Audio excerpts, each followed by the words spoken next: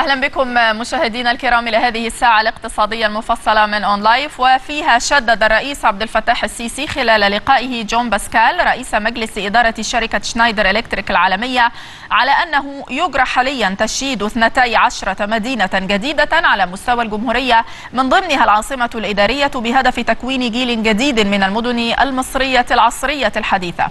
وأكد الرئيس عبد الفتاح السيسي خلال اللقاء الذي شارك فيه أيضا وزير الكهرباء محمد شاكر والوزير محمد عرفان رئيس هيئة الرقابة الإدارية أكد الأهمية التي توليها مصر لنقل التكنولوجيا عن طريق توطين الصناعات مع تقديم الدولة لكل التسهيلات لتحقيق ذلك الهدف. من جانبه أكد رئيس شركة شنايدر إلكتريك حرص الشركة على مضاعفة استثماراتها في مصر في ظل ما تتيحه المشروعات الجاري تنفيذها من فرص واعدة مشيدا بالإنجازات التي تحققت خلال فترة زمنية قياسية في مختلف المشروعات الاقتصادية بمصر والتي تمثل حاليا ثالث أكبر الأسواق العالمية بالنسبة لشركة شنايدر بعد كل من الولايات المتحدة والصين. أصدر الرئيس عبد الفتاح السيسي القرار الجمهوري رقم 81 لسنة 2017 بالموافقة على اتفاقية بين حكومتي مصر وأوروغواي الشرقية بشأن التعاون والمساعدة المتبادلة في المسائل الجمركية والموقع بالقاهرة بتاريخ الثامن والعشرين من نوفمبر لعام 2016 و تقضي الاتفاقية التي نشرت بالجريدة الرسمية بأن يقوم الطرفان بالتعاون والمساعدة المتبادلة ويشمل ذلك تبادل المعلومات والتشاور اللازم لضمان التطبيق الصحيح للتشريع الجمركي وتيسير التجارة ومنع مكافحة ومنع ومكافحة المخالفات الجمركية والتحري عنها. وكان مجلس النواب قد وافق على هذا القرار بجلسته التي عقدت في الخامس من يوليو الماضي. تستضيف مصر للمرة الأولى اجتماع لجنة السياسات لمنظمة الجمارك العالمية الثامن والسبعين خلال الفترة من الرابع وحتى السادس من ديسمبر المقبل في مدينة الأقصر. هذا وقد رحب أمين عام منظمة الجمارك العالمية كونيو ميكوريا وأعضاء المنظمة باستضافة مصر لهذا الاجتماع. لا سيما أن هذه المرة الأولى التي تعقد أو تعقد لجنة السياسات لمنظمة الجمارك العالمية اجتماعها في إحدى دول الشرق الأوسط وشمال إفريقيا والدول العربية. وقد صرح رئيس مصلحة الجمارك الدكتور مجدي عبد العزيز أنه سيشارك بالجلسة الافتتاحية لاجتماع المنظمة كل من وزير المالية عمرو الجرحي ونائب الوزير للسياسات الضريبية والجمركية عمرو المنير ومحافظ الأقصر محمد بدره وتجتمع لجنة السياسات لمنظمة الجمارك العالمية مرتين سنويا. الأولى في مقر المنظمة ببروكسل والثانية في إحدى الدول المهمة بمشاركة 30 دولة من لجنة السياسات لمنظمة الجمارك العالمية. أكد مدير إدارة الشرق الأوسط وآسيا في صندوق النقد الدولي جهاد أزعور أن مصر من الدول التي حققت استقرارا ماليا كبيرا وعززت مناخ الاستثمار بها. وأشاد أزعور في كلمة له خلال أعمال المؤتمر المصرفي العربي السنوي الثالث والعشرين الذي انطلق اليوم بالعاصمة اللبنانية بيروت تحت عنوان توأمة الإعمار والتنمية معا لمواجهة التحديات الاقتصادية. أشاد ببرنامج الإصلاح الاقتصادي في مصر مشيرا إلى أن الفترة المقبلة ستشهد طفرة كبيرة في جذب الاستثمارات الأجنبية المباشرة وغير المباشرة للسوق المصرية. قال محافظ البنك المركزي طارق عامر إنه سيتم طرح البنوك بالبورصة في النصف الثاني من العام القادم وفقا لخطة الحكومة للطروحات. وأكد عامر في تصريحات صحفية على هامش مؤتمر اتحاد المصارف العربية في العاصمة اللبنانية بيروت إن حجم تدفقات الاستثمار الأجنبي المباشر خلال العام المالي الماضي بلغت نحو 7 مليارات و900 مليون دولار. لافتا إلى أن الإجراءات الخاصة بإصلاح الاقتصاد المصري بدأت تؤتي ثمارها. وأشار محافظ البنك المركزي إلى أن تدفقات العملة الصعبة للاقتصاد المصري منذ تحرير سعر الصرف تجاوزت 80 مليار دولار. وفي سياق مختلف قال عامر إنه سيتم إطلاق كارت ذكي خاص بالدعم المقدم للمواطنين يتيح لهم شراء السلع ويمكنهم من الحصول على الدعم الحكومي فضلا عن السيطرة على منظومة الدعم خلال العام المقبل. في سياق متصل أيضا أكد نائب محافظ البنك المركزي جمال نجم إنه لا نية في الوقت الحالي لطرح رخص جديدة لعمل البنوك في مصر. لافتا إلى أنه عقب برنامج الإصلاح المصرفي فإن البنوك العاملة بمصر أصبحت كيانات قوية قادرة على دعم الاقتصاد وتتمتع بمعدلات سيولة وقواعد رأسمالية قوية. وأضاف أن عملية الاستحواذ على أي بنوك قائمة بالفعل متاحة بشرط التقدم بطلب للاستحواذ إلى البنك المركزي المصري مؤكدا أن هناك العديد من الاستحواذات الناجحة على بنوك مصرية تمت على مدار السنوات القليلة الماضية مما يؤكد قوة القطاع المصرفي المصري وجاذبيته للاستثمار. وعلى هامش المؤتمر كرم رئيس الوزراء اللبناني سعد الحريري طارق عامر محافظ البنك المركزي كأفضل محافظ بنك مركزي عربي خلال عام 2017 وقال الأمين العام لاتحاد المصارف العربية وسام فتوح إن محافظ البنك المركزي المصري يعد رائدا من رواد الصناعة المصرفية العربية. وواحدا من أفضل الخبرات في قطاع الخدمات المالية والمصرفية.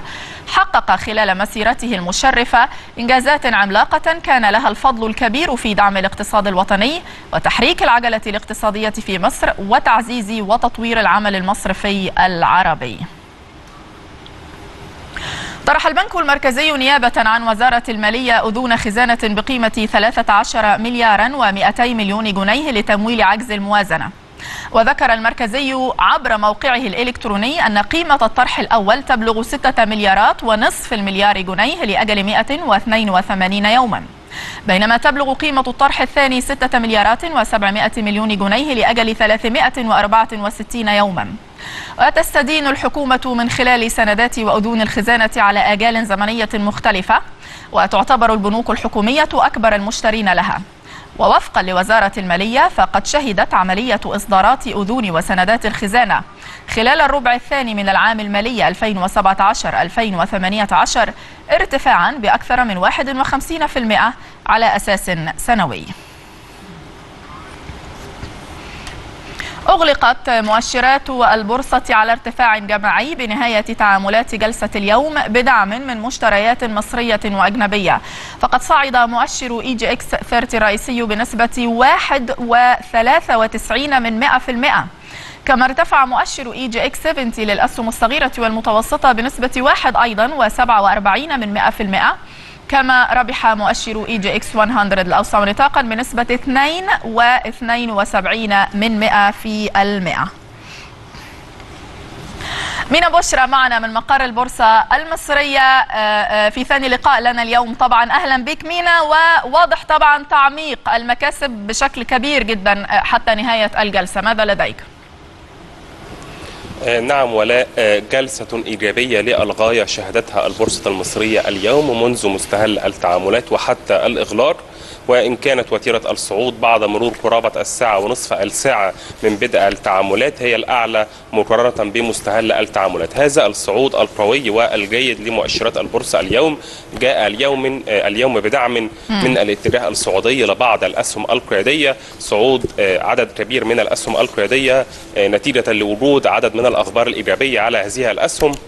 دفع بمؤشرات البورصة وخاصة المؤشر الرئيسي مؤشر EGX 30 إلى يتجاوز عدة مستويات من المقاومة اليوم منذ مستهل الجلسة وحتى الإغلاق إلى جانب أيضا القوى الشرائية المكثفة من قبل المستثمرين المصريين والأجانب.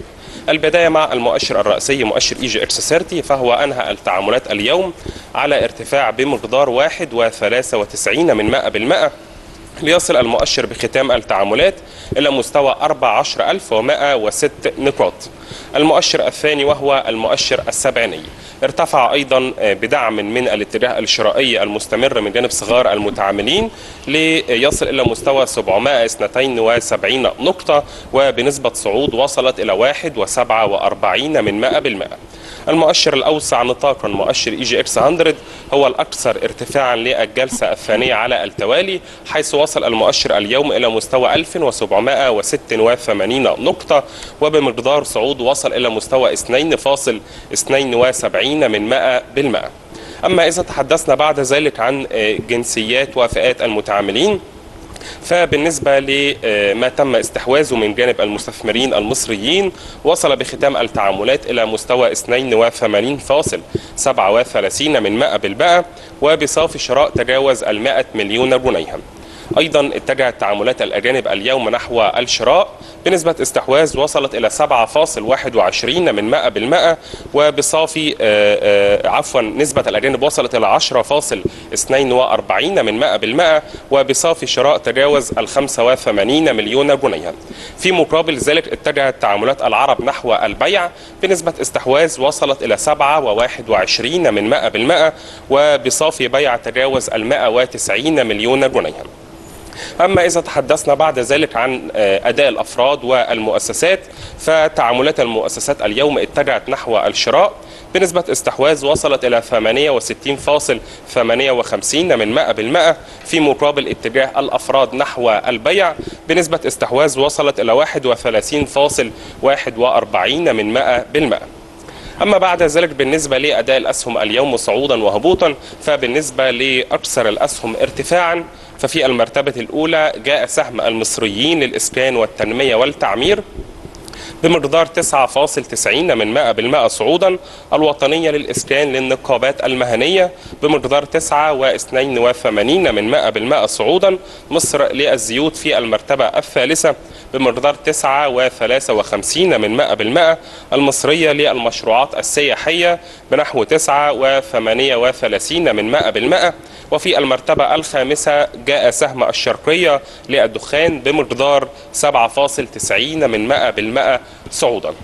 أما إذا تحدثنا اليوم عن الأسهم الأكثر انخفاضا ففي المرتبة الأولى جاء سهم حق الاكتتاب لشركة كفر الزيات بمقدار آه، 12.69 من 100 بالمئة تراجعا الوطنية لمنتجات الذرة في المرتبة الثانية بمقدار 7.23 من 100 بالمئة تراجعا الإسكندرية الوطنية للاستثمارات المالية في المرتبة الثالثة بمقدار 4.8 من 100 بالمئة تراجعا وجاء بعد ذلك سهم العربية للخزف بمقدار 3.58 من 100 بالمئة.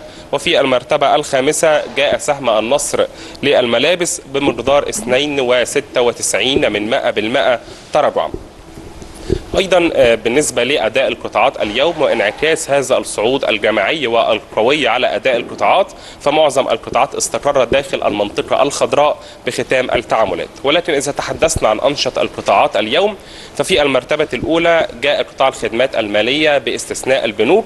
بقيم تداول تجاوزت ال 230 مليون جنيها وفي المرتبة الثانية جاء قطاع العقارات بقيم تداول تجاوزت ال 199 مليون جنيها.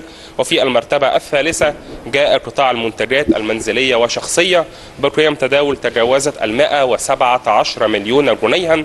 وفي المرتبة الرابعة آه، جاء قطاع الخدمات ومنتجات صناعية وسيارات بقيم تداول تجاوزت ال 100 مليون جنيها وفي المرتبة الخامسة جاء قطاع الموارد الأساسية بقيم تداول تجاوزت ال 92 مليون جنيها تلاه بعد ذلك قطاع الأغذية ومشروبات بقيم تداول تجاوزت ال 75 مليون جنيها وفي المرتبة السابعة جاء قطاع البنوك بقيم تداول تجاوزت ال 67 مليون جنيها إذا تحدثنا بعد ذلك عن مستوى السيولة اليوم فهناك استمرار في الارتفاع النسبي في مستوى السيولة ولكن اليوم كان هناك ارتفاعا كبيرا في مستوى السيولة نتيجة لتنفيذ إحدى الصفقات حيث أعلنت البورصة المصرية اليوم أنه تم تنفيذ عرض الشراء الإجباري المقدم على سهم الوطنية لمنتجات الذرة بقيمة المليار و470 مليون جنيها. هذا الإعلان وهذا العرض الشراء الإجباري انعكس على قيم التداول بشكل كبير لتصل بختام التعاملات إلى مستوى المليارين و825 مليون جنيها وذلك من خلال التداول على 333 مليونا و531 ألف سهما وبإجمالي عدد عمليات تم تنفيذها على مدار جلسة اليوم بما يزيد عن 32 ألف عملية. أخيرا إذا تحدثنا عن مكاسب الأسهم المقيدة على مدار تعاملات اليوم وأيضا على مدار تعاملات هذا الأسبوع فالبداية مع جلسة اليوم التي شهدت ارتفاعا كبيرا لأداء جميع المؤشرات. انعكس على مستوى ومكاسب الأسهم المقيدة لتصل بختام التعاملات إلى 11 مليارا و900 مليون جنيها.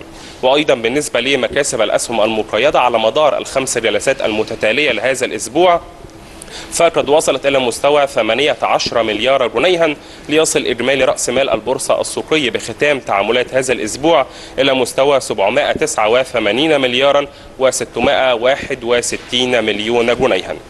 نعم. إذا ختامها مسك كما يقولون مينا نهاية الأسبوع. مكاسب كبيرة ومؤشرات مرتفعة وعادت ربما الأحوال إلى نصابها فيما يخص المصريين والأجانب. بالنسبة للبارحة طبعا بتحدث.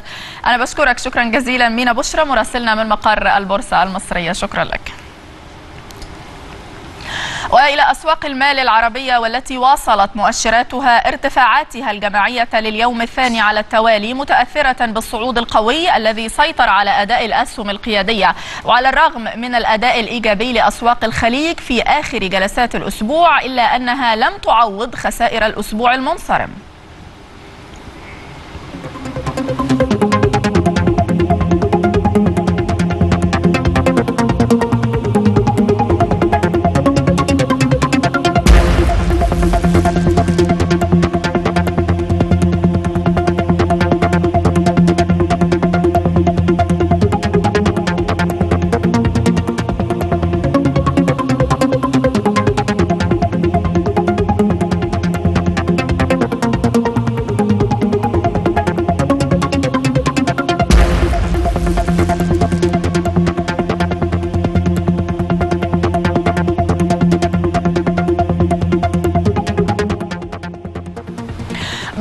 وزير قطاع الأعمال العام الدكتور أشرف الشرقاوي اليوم زيارة رسمية إلى الهند تستغرق يومين تلبية لدعوة من وزيرة صناعة المنسوجات بالهند لبحث تبادل الخبرات في هذا المجال.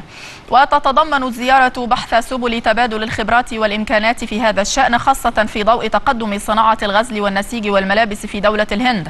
بالإضافة إلى التباحث حول الفرص الاستثمارية المتاحة بشركات قطاع الأعمال العام وفرص التبادل التجاري بين الجانبين. ويلتقي الوزير عددا من ممثلي كبريات الشركات الهندية العاملة في مجال صناعة الغزل والنسيج والملابس والشركات المصنعة لماكينات الغزل والنسيج المختلفة للتعرف على أحدث ما وصلت إليه التكنولوجيا المستخدمة في هذا الشأن. شهد اتحاد الصناعات المصرية زيارة الوفد الهندي المكون من عدة رجال أعمال بهدف زيادة الاستثمار الهندي في مصر وتوسيع سبل التعاون بين البلدين في مختلف المجالات. نتابع. فرص استثمارية جديدة لتبادل الخبرات جمعت وفدا من رجال الصناعة والأعمال الهندي مع اتحاد الصناعات المصرية لبحث الفرص الاستثمارية في مجال البتروكيماويات والغزل والنسيج والدراجات البخارية والنارية. عايزين يعملوا شراكات مع مصريين إن مصر تبقى هي الدولة الأم اللي تصدر للمنطقة اللي موجودة. فتسد بيها احتياجات مصر ومشاركه في المشروعات اللي بتتم وأيضا نقدر نصدر بيها دول أفريقيا والشرق الأوسط وأوروبا بإذن الله. في بعض الشركات مستثمرة في مصر كانوا عايزين يسمعوا برضو عن بعض التحديات. إزاي يعملوا مزيد من الاستفادة من الشركات المصرية اللي هي أعضاء في اتحاد الصناعات المصري تعرفوا على الإصلاحات التي حدثت في مصر في الفترة الماضية على مستوى التشريعات وعلى مستوى بيئة الاستثمار؟ وبحثوا معانا إمكانية التعاون ومن من الأمور الجيدة جدا إنه حتى قطاع صناعة السينما بحث إمكانية التعاون مع الجانب الهندي. تصل قيمة الاستثمارات الهندية في مصر إلى ثلاثة مليارات دولار من خلال 400 شركة عاملة في مجال التجارة والصناعة تسعى الهند إلى زيادتها. أمامنا هدفان أساسيان. أولهما زيادة صادراتنا وفقا لاحتياجات السوق المصري فضلا عن إقامة مشروعات مشتركة بين البلدين. وقد قمنا بإرسال خبرائنا لدراسة الوضع واستقصاء السوق المصري. تعد هذه الزيارة الثانية لوفد هندي رفيع المستوى بعد الزيارة الأولى له في فبراير الماضي وجميعها لتقوية العلاقات وخلق مناخ استثماري كبير في مصر. أحمد فرج أون لايف أو أعلنت وزيرة التخطيط الدكتورة هالة السعيد مؤشرات الربع الأول من العام المالي الحالي 2017-2018 حيث أكدت ارتفاع حجم الاستثمارات الكلية خلال الربع الأول من العام ليبلغ معدل الاستثمار 13.3% مقارنة ب 12.2% في العام المالي السابق 2016-2017 ليبلغ حجمها 155 مليار جنيه مقارنة ب 101 مليار جنيه بمعدل نمو حوالي 52% وأشارت السعيد إلى ارتفاع حجم الاستثمارات العامة بنسبة 138% خلال الربع الأول من العام المالي الحالي أيضا 2017-2018 لتصل إلى نحو 71 مليارا و900 مليون جنيه مقارنة ب 30 مليارا و200 مليون جنيه عن العام المالي السابق ولتشكل نسبة 48% من جملة الاستثمارات المنفذة خلال ذات الفترة. وأعلنت السعيد عن استحواذ المشروعات القومية على نسبة 25% من الاستثمارات المنفذة خلال الربع الأول من العام المالي الجاري. فاصل قصير قبل أن نعود لنتابع. الحكومة تنفي سبع شائعات أهمها الخبز والوقود.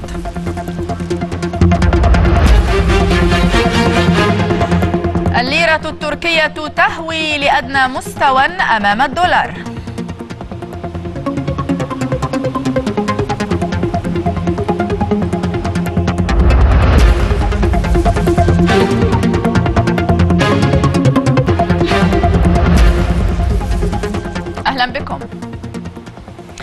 بات الاقتصاد التركي إذن يدفع ثمن القرارات والسياسات الخاطئة للنظام الحاكم حيث سجلت الليرة تراجعا متواصلا أمام الدولار في حين وصل معدل التضخم لمستويات قياسية لم تحدث قبل 13 عاما. نتابع.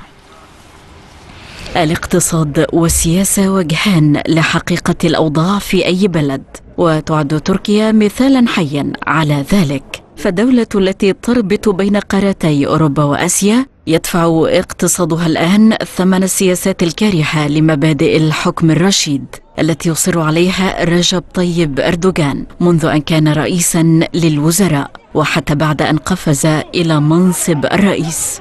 قرارات أردوغان المعادية للديمقراطية جعلت رقعة المعارضة له تتسع حيث اندلعت المظاهرات الداخلية والتي قابلتها عناصر الأمن الموالية له بعنف غير مبرر بحسب منظمات دولية. كما استغل إردوغان التمرد العسكري المحدود الذي وقع منتصف العام الماضي في شن حملة اعتقالات ومحاكمات صورية ضد خصومه السياسيين مما قضى على حلم تركيا في الانضمام إلى الاتحاد الأوروبي. مثل تلك السياسات ألقت بظلالها بشدة على الوضع الاقتصادي التركي وظهرت هذه التأثيرات على العملة التركية. حيث تهاوت الليرة إلى مستوى قياسي جديد أمام الدولار لتواصل نزيف الخسائر وتصبح في نهاية عام 2016 واحدة من أسوأ عملات الأسواق الناشئة أداءً. وذلك بفعل المخاوف المرتبطة بعلاقات أنقرة المتوترة مع واشنطن ومع دول الاتحاد الأوروبي. في حين تقف محاولة أردوغان المتواصلة بالتدخل في عمل البنك المركزي التركي وتحويل سياساته النقدية لخدمة أهداف حزبية عائقا كبيرا أمام تعافي العملة بسبب الضبابية التي تكتنف استقلالية المؤسسات المصرفية التركية. أما معدل التضخم فقد قفز مؤشر أسعار المستهلك في نهاية أكتوبر الماضي إلى نحو 12% مقارنة بنفس الشهر من العام السابق ليكون المعدل الأعلى للتضخم في البلاد منذ تسع سنوات مضت. بينما وصل مؤشر التضخم التركي الأساسي والذي يستبعد أسعار الغذاء والطاقة إلى أعلى رقم له منذ 13 عاما حيث سجل 11.8 وفيما يخص الديون فقد كشفت الخزانة التركية أن الإجمالي العام لخدمة الدين الداخلي يتوقع أن يصل إلى 32 مليار و200 مليون دولار. بينما إجمالي خدمة الدين الخارجي قد تصل إلى 10 مليارات و900 مليون دولار. لمزيد من التفاصيل والتوضيحات أيضا بشأن أداء الليرة التركية وتراجعها ربما مؤخرا بينضم إلينا بالصوت والصورة الأستاذ إبراهيم حسني محلل أسواق العملات. أهلا بك أستاذ إبراهيم إلى هذه النشرة وعلى شاشة أون لايف. كيف نفهم إنه سياسات ربما خاطئة توترات في علاقات بين دولتين وأقصد هنا تركيا وواشنطن على خلفية محاكمة رجل أعمال تركي إيراني من قبل الولايات المتحدة الأمريكية أن يسهم في هبوط وتهاوي عملة محلية وهي الليرة بشكل وصف بأنه لم يسبق في التاريخ 1% بكاملها كيف نفهم؟ تمام فندم. هي الفكرة البداية بس كانت في حاجتين مؤثرين في القرار ده أو في النزول بتاع الليرة. حاجة داخلية وحاجة خارجية. الحاجة الخارجية بتاعت اللي هي محاكمة رجل الاعمال الإيراني الإيراني التركي ومشاكله مع وجود مشكلة مع كان هو متهم من قبل السلطات الأمريكية مع مدير بنك تاني إن هم عاملين كسروا الحظر على إيران. ده طبعا ساهم في نزول الليرة التركية اقترابها تقريبا من مستوى 4 ليرات تقريبا للدولار. مم. الحاجة الثانية الداخلية هم عندهم شايفين السياسة بتاعت البنك المركزي منفصلة عن سياسة الإدارة أو أو مجلس الوزراء وهو كان كان في توقعات إن هم يزودوا الفايدة عشان يواجهوا التضخم ده الأسبوع الماضي لكن لم يتم اتخاذ قرارات بإن إحنا هم هم يزودوا الفايدة عندهم. فده ألقى بزرار وصولها الأسعار دي اللي هو وصل تقريبا ل 3.98 أمام الدولار الليره التركيه وده كان تاني مرة يوصل لها كان آخر مرة وصل لها كان في بداية السنة تقريبا في شهر يناير. فوصول المنطقة دي أعتقد إن هي منطقة قوية جدا بيقدر يقف قدامها. كل ما, يتح... ما, ما, ما يوصل للمنطقة دي بيقف ما يتحركش الأسعار أكتر من كده. منتظرين هم شوفوا هيعملوا إيه داخليا أو المحاكمة بتاعت رجل الأعمال الإيراني التركي هتكون في شهر ديسمبر هيبدأ يبان شكل أكتر لاتجاهات العملة أكتر. نعم. يعني تدخل النظام الحاكم في السياسة النقدية هناك والبنك المركزي وسياسته. كان في تصريحات يوم الجمعة السابقة طبعا أو الماضية من أردوغان أنه مستوى التضخم التي وصلت إليه تركيا لم يسبق من قبل نتيجة عدم تدخل النظام الحاكم في السياسات النقدية. ماذا عساه أردوغان أن يفعل أيضا ربما للسيطرة على هذا المعدل؟ هم عندهم البنك المركزي هو اللي بيحدد السياسة يعني هي مم. موضوع دايما ده في بعض الدول عامة السياسات النقدية بتبقى في مشاكل بنشوفها في كل الدول ما بين القيادة وما بين البنك المركزي. دايما في شد وجذب ما بينهم عشان تغيير العملة أو الاتجاهات بيبقى فيها شد وجذب. هم سايبينه هناك شايفينه هم بطريقة حرة وسايبينه بالطريقة الحرية دي لحد ما يشوفوا إن هو عندهم تدخل هيقدروا يتدخلوا في الوقت المناسب.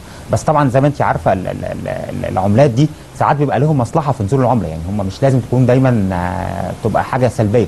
قد يكون شايفين بعض المصلحة في إن هم دولة مصدرة أشياء أخرى مش مش مش بس التضخم. فهم أكيد في أزمة لكن هم ممكن يكونوا حاسبينها بشكل كويس إن هم عايزين يبدأوا يصدروا شوية يبدأ البنك المركزي يتدخل بشكل مختلف. لهم سياسات نقدية مختلفة عامة يعني فهم سايبينها قراراتهم رئيس أردوغان كان بيتكلم في النهاية إن هو منفصل السياسة النقدية تماما عن الإدارة فهو سايبهم يعملوا اللي هم عاوزينه لحد ما يلاقوا مشكلة عندهم. وده بيحصل حتى كان كنا بنشوف ده في في السوق الأمريكي مشاكل دايما مع رئيس البنك المركزي أو الاحتياطي الفدرالي الأمريكي مع مع الكونجرس. في شد وجذب دايما بيشوف المصلحة فين ده بيشوف بطريقة وده بيشوف بطريقة ثانية في النهاية بيشوف المصلحة فين وبيعملوها. حتى لو حصل مشاكل طبعا أكيد في مشاكل دلوقتي مع مع ارتفاعات التضخم وانهيار العملة. صحيح. طبعا ده مشاكل هم هيستغلوها إزاي؟ هيبان الكلام ده هيستغلوه نعم. إزاي أو كان سلبي أو إيجابي أو ولكن الاستثمار الأجنبي في أي دولة بيعتمد على استقرار سعر الصرف وانخفاض ربما معدلات التضخم وهذان العاملان ليسا موجودين في تركيا الآن وبالتالي كيف سيؤثر على الاستثمار الأجنبي هناك؟ ده فعليا كان في كان في مخاوف وكلام على الاستثمار الأجنبي هناك من خوف إن هو العملة بتاعتهم بتنزل زي ما كان حصل في مصر السنة اللي فاتت أو كان المشكلة اللي كانت عدم الاستقرار دي الحمد لله وصلنا فيها إن هي اتثبتت خلاص. كان ده موجود عندهم تجار سوريين وآخرين لأن هم عندهم استثمارات كتير هناك. كانوا شايفين هم حتى لو بيكسب وبيطلع استثمارات لما يجي يخرجها بره بتقل قيمتها لأن قيمة الليرة اللي هو شغال بيها فيها مشكلة. طبعا ده هيعمل لهم مشاكل في حجم الاستثمار الداخل ليهم لأنه حتى لو كسب لو كسب مثلا 10 20 30% والعملة نزلتهم فهو في الآخر مش بيطلع بيخسرهم في فرق تحويل العملة. آه فدي طبعا مشاكل مشاكل شديدة عليهم هتضغط عليهم بشكل قوي في الفترة الجاية. السياسات طبعا هي في الآخر سياسات مجمل ال- ال- ال- ال- السعر نفسه ملوش دعوة مين بيقرر مين بيعمل هو سوق حر عندهم فهو ال- ال- القرارات دي بتأثر بشكل واضح على على أسعار العملة عامة هو حصل انخفاض النهارده لقيمة الدولار قدام ال- ال- الليرة أمام التركية. الدولار. آه. وصل تقريبا آه, آه. الليرة أمام الدولار حصل فيها انخفاض نزلت من مستوى 3 3.98 ل 3.92 آه ده كان بداية لأن هي مستوى مقاومة قوي جدا عند الحتة دي بيقدر ينزل من عنده. هو المشكلة هتظهر عندهم بجد لو قدر يخترق سعر الليرة قدام الدولار إنه يخترق سعر الأربعة ليره ده لو حصل يبقى عندهم كارثة وأزمة كبيرة. لكن لو قدر يحافظ عليها يبقى هم بيبداوا يسيطروا على الموضوع ويدخلوا فيه بشكل آه، بشكل أحسن شوية. هل في حديث أن هذا السيناريو يحدث آه، أستاذ إبراهيم آه، ومتى سيناريو إيه بالظبط؟ سيناريو أن أن تخترق الليرة آه، آه، حاجز الأربعة آه، مقابل الدولار كما ذكرت. آه هو أنا مش مش متخيله دلوقتي. يعني هو مم. لازم يعني ده لازم يكون في أزمة كبيرة واضحة هناك. هم دلوقتي طبعا في أزمة لكن الأزمة لسه آه، تحت إيديهم. لو حصل وكسر مستوى الأربعة ده هيكون عندي مستويات تقترب من الأربعة ونص آه، ليرة للدولار لخمسة ليرة للدولار. ده ساعتها معناه إن هم في كارثة كبيرة وساعتها التدخلات ممكن ما, ما, ما تفرقش ساعتها. لكن أعتقد هم حتى الآن بعد ما تدخلوش يبقى هم مسيطرين على مستوى الأربعة ده. لو حصل كسر مستوى الأربعة هنشوف تدخلات عنيفة منهم عشان يبدأوا يلموا الموضوع لأن هم أكيد عندهم الأرقام دي عارفين هتعمل هتزود الدنيا عندهم إزاي وهتعمل مشاكل عاملة إزاي. لكن حتى الآن المتوقع إن هو يحافظ على مستوى الأربعة ما يقدرش يعديه فعليا. طيب هذه النقطة الخطر كما وصفتها أستاذ إبراهيم اللي بتقول فيها ربما ستتدخل الدولة يعني ماذا عساها أن تفعل حينها؟ ساعتها بيبدأ في الدول في المناطق دي بيبدأوا يعملوا تدخلات ما بيقدرش هو يخفض سعر العملة بشكل إجباري لا هو بيعمل إجراءات مجموعة إجراءات. أهمها إن هو بيبدأ يعمل آه، زيادة للفايدة زيادة تدريجيه للفايدة. بيبدأ بنقط مئويه علشان يحاول مع أنه هو لا يؤمن بزيادة الفائدة يعني للسيطرة على التضخم هكذا بنعلم. ساعتها سي- حضرتك سيبك من اللي يؤمن ومش يؤمن هي دي دلوقتي. دي بتبقى حاجات آه، إجبارية في الوقت الحالي هم يعني هو إجباري عنده ما عندوش حل تاني. أول وسيلة بتتعمل لكبح جماح تضخم أو إن إحنا ما نخليش العملة تنهار إن إحنا نحاول نزود الفايدة عليها بحيث إن إحنا نوجد طلب عليها. طبعا في الأسواق تركيا من الدول المقاربه لينا ما فيش مشاكلهم زينا تقريبا. لكن في الدول المتقدمة الكبيرة فرق الفايدة الصغير جدا اللي قد يصل ل 1 من 10% بيعمل فرق كبير جدا في إن الناس ممكن تقدر تستثمر فلوسها تحطها في بنوك يقدر ياخد عليها فايدة. ساعتها يبقى في طلب على العملة. يبقى عملة سعرها يزيد قدام المقابل يبدأ يسيطر على الموضوع ده بإجراءات تدريجية. ده أهم أسلوب حاجة بيعملوها. ساعات بي بي بي بي بيعملوا إجراءات آه إجراءات للمستثمرين يقدروا يخشوا البلد مم. إجراءات كتيرة لكن هم حتى الآن لم يتدخلوا لأن هو زي ما قلت لك طول ما هو تحت الأربعة هم في مشكلة لكن الأزمة مش آه مش صعبة قوي لأن هو وصل لها قبل كده قدروا قدروا يسيطروا عليها في شهر تقريبا يناير كان 17 يناير وصل لمستوى 3.97 نعم. وقدر يقف عندها ونزل تاني. فهم هنا شايفين أعتقد ده هو الحد بتاعهم الحد الحد الأمان بتاعهم. لو قدر ينزل من عنده يبقى لسه عندهم إجراءات خفيفة ما ينفعش دخول عنيف. بشكرك. الإجراءات دي بتت- تتدرج درجات شكرا. بشكرك بشكرك. شكرا جزيلا أستاذ إبراهيم حسني محلل أسواق العملات. كنت معنا بالصوت والصورة طبعا. شكرا لك. قال وزير الإسكان والمرافق الدكتور مصطفى مدبولي أن جهاز مدينة القاهرة الجديدة سيبدأ يوم الثالث من ديسمبر المقبل في تسليم قطع الأراضي للحاجزين بمنطقة المستثمر الصغير بالمدينة وحتى يوم الثامن عشر من ديسمبر. من جانبه أوضح رئيس جهاز تنمية مدينة القاهرة الجديدة المهندس مصطفى فهمي أنه سيتم استكمال الخمسين في المئة من قيمة الأرض عند الاستلام لافتا إلى أن التعامل سيكون مع المستثمر المخصص له الأرض فقط مع إحضار أصل إخطار الحجز وإحضار المستندات الخاصة بالشركة.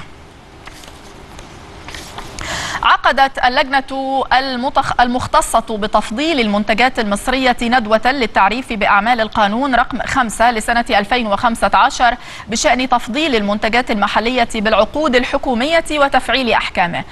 والتعرف إلى المشكلات أو على المشكلات من أصحاب الشركات المحلية. المزيد في التقرير.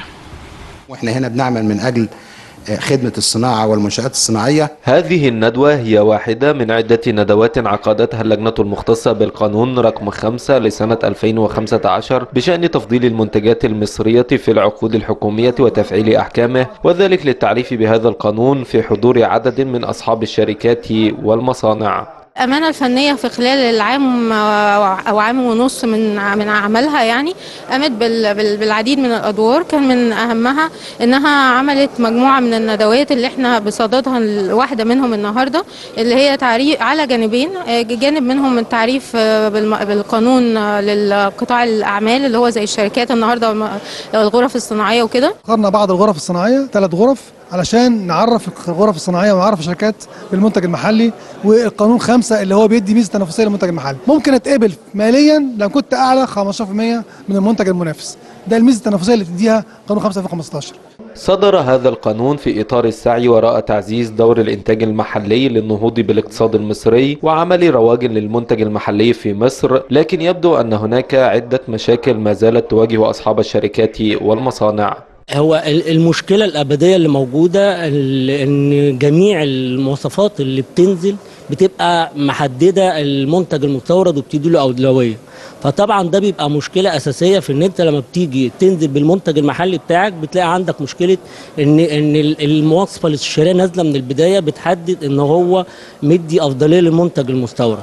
تقليل الاستيراد من الخارج والاعتماد على المنتج المحلي هدف أسمى تسعى الدولة للوصول إليه بكامل قدراتها وإمكانياتها. أحمد فرج أون لايف نفى مركز المعلومات ودعم اتخاذ القرار بمجلس الوزراء ما أثير في العديد من وسائل الإعلام وصفحات التواصل الاجتماعي باتجاه وزارة التموين نحو تخفيض عدد أرغفة الخبز المقدمة للمواطنين على بطاقات الدعم في المناطق الريفية والحضرية. وأكدت وزارة التموين في ردها على المركز أن عدد أرغفة الخبز المدعم كما هو دون تغيير بواقع خمسة أرغفة يوميا لكل فرد بمعدل 150 رغيفا للمواطن شهريا. كما نفى المركز أيضا انباء أو أنباء انتشار بنزين مغشوش ومخلوط داخل بعض محطات الوقود.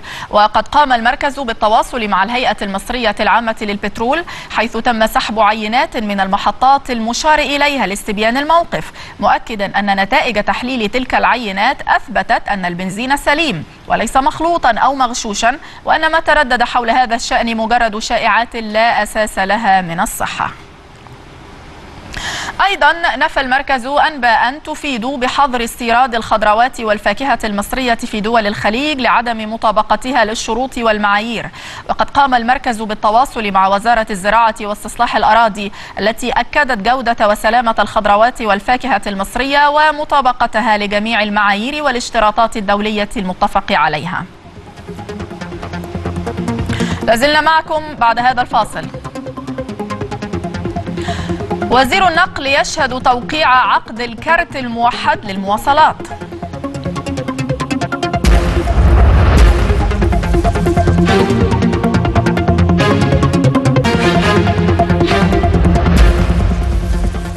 أهلا بكم مرة أخرى مشاهدينا.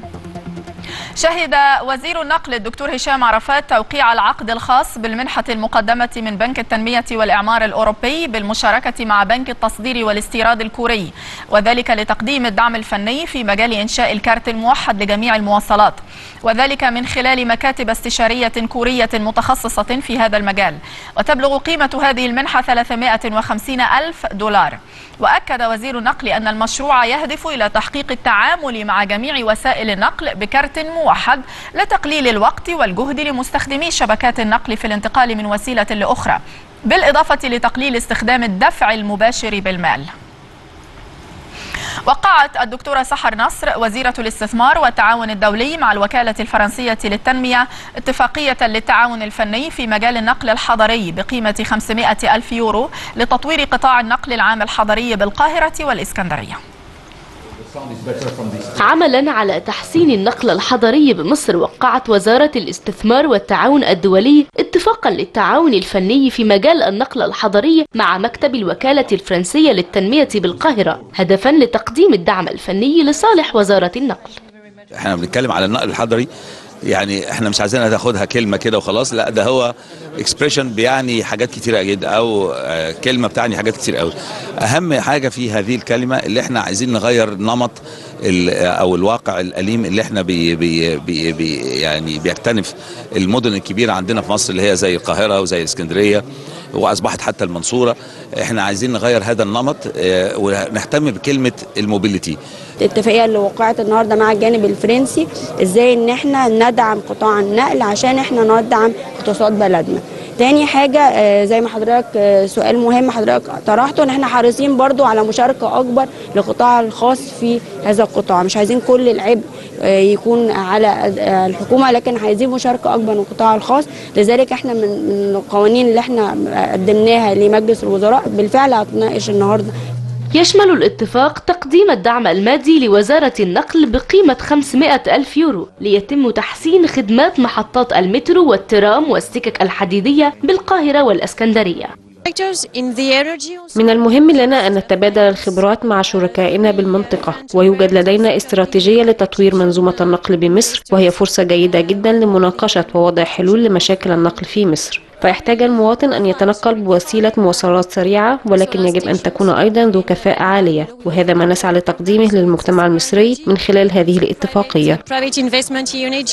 جاء توقيع هذا الاتفاق هدفا في المساعدة على تعزيز قدرات هيئة تنظيم النقل في القاهرة الكبرى ومنظومة النقل العام في القاهرة والأسكندرية لتحقيق الربط ما بين المحافظات مما سيسهم في تعزيز الاستثمار في مصر.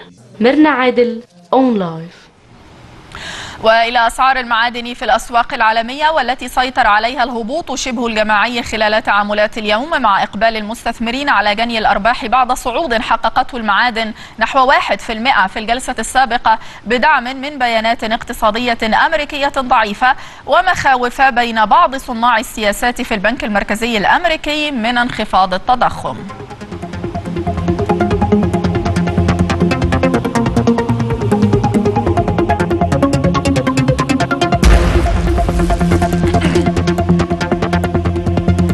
تراجعت أسعار النفط في تعاملات اليوم مع انخفاض الخام الأمريكي بعيدا عن أعلى مستوى في عامين والذي بلغه في الجلسة السابقة. لكن إغلاق خط أنابيب كيستون وانخفاض مخزونات الوقود استمر في دعم الأسواق على الرغم من المخاوف بشأن زيادة الإنتاج.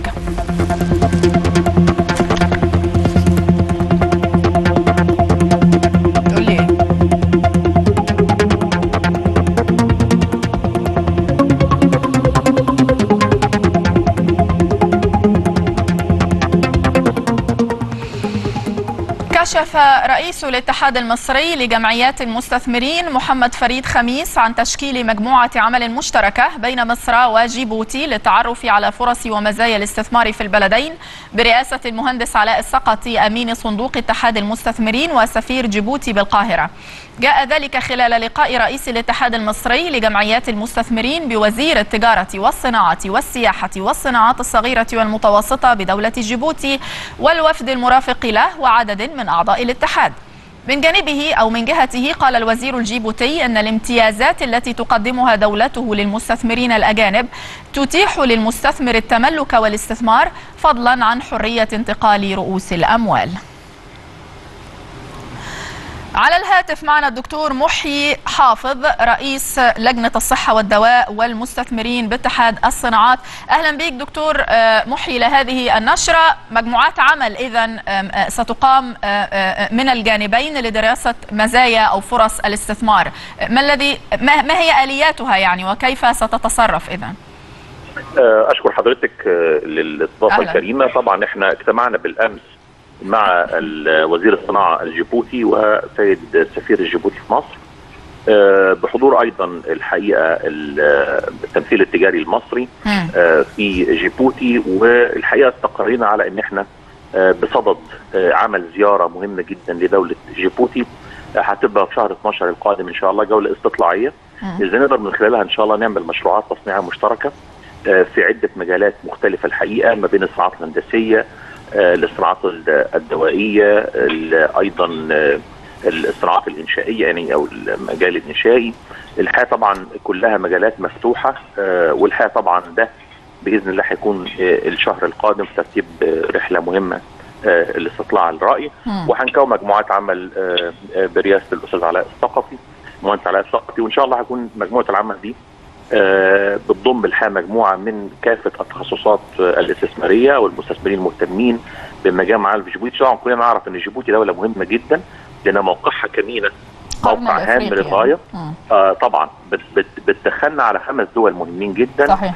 بتتكلم على إثيوبيا بتتكلم على الصومال بتتكلم على إريتريا بتتكلم على آه اليمن. آه بنتكلم على آه يعني دول متعددة. هي طبعا هب أو أو, أو موقع مهم جدا. بيدخلنا على كل هذه الدول بكل سهولة. عظيم. هل هذا بيأتي يعني تفعيلا لما تم توقيعه من اتفاقيات في ديسمبر الماضي حينما جاء الرئيس الجيبوتي إلى مصر؟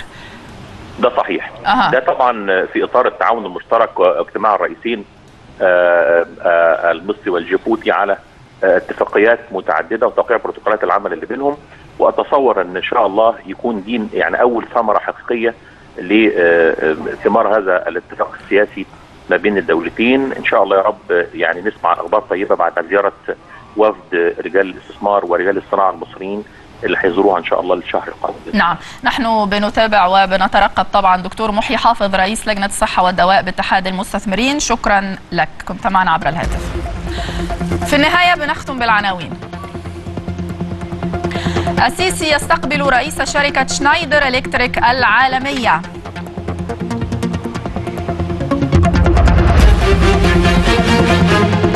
للمرة الأولى مصر تستضيف اجتماع منظمة الجمارك العالمية.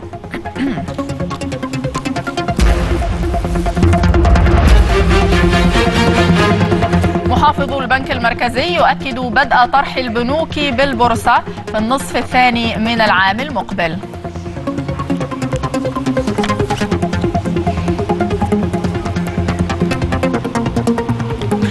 لكم دائما على هذه المتابعة الكريمة. انتهى نشرتنا وانتهت نشرتنا في هذا الأسبوع ولهذا الوقت. بشكركم وألقاكم يوم الأحد القادم طبعا في نفس الموعد. إلى اللقاء.